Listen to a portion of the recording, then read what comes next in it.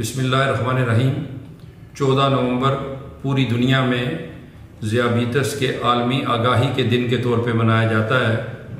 पाकिस्तान में भी Pakistan Islamic medical association और अलखदमत हेल्थ फाउंडेशन के बाहमी इश्तराक से वर्ल्ड डायबिटीज़ अवेयरनेस डे के तौर पे मनाया जा रहा है। इस अवेयरनेस डे के मौका पे मुख्तलिफ़ शहरों में सेमिनार्स लेक्चर्स और अवेयरनेस वाक्स का अहतमाम किया जाएगा।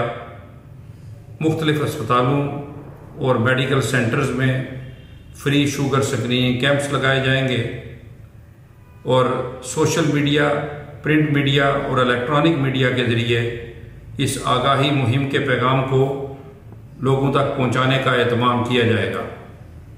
इस आगाही मुहिम का मकसद लोगों में ये आगाही पैदा करना है कि ये बीमारी होती क्यों है, इसके अब इसबाब क्या हैं, इसकी पेचीदगियाँ क्या हैं, और सबसे ज़रूरी कंपोनेंट ये है कि इस बीमारी से बचाव के क्या तरीक़ाकार हैं। पाकिस्तान में इस वक्त तीन करोड़ तीस लाख से जायद अफराद इस बीमारी में मुबतला हैं, और इस मर्ज़ के बढ़ते हुए मरीज़ों की तादाद को देखते हुए अंदेशा है कि ये तादाद अगले चंद सालों में कई गुना ज़्यादा हो जाएगी।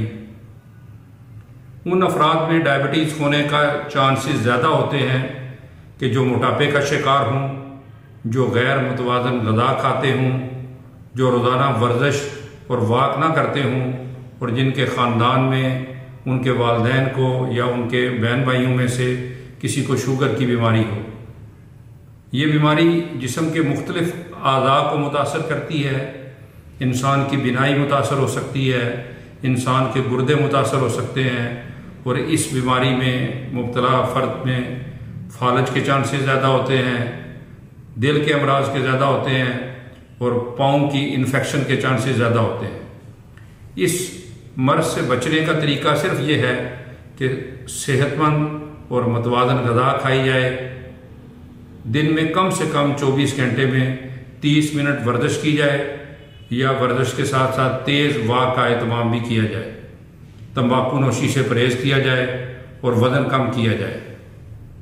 इस मर्ज की तेज़ी से बढ़ती हुई रफ्तार और पेचीदगियों को नज़र रखते हुए, मद्देनज़र रखते हुए मैं हेल्थ प्रोफेशनल से गुजारिश करूँगा, उनसे दरख्वास्त करूँगा कि वो इस वर्ल्ड डायबिटीज़ के मौके पे इस पैगाम को लोगों तक पहुँचाने का अहतमाम करें।